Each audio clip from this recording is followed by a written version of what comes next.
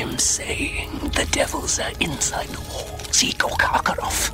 He was a Death Eater, and no one, no one stops being a Death Eater.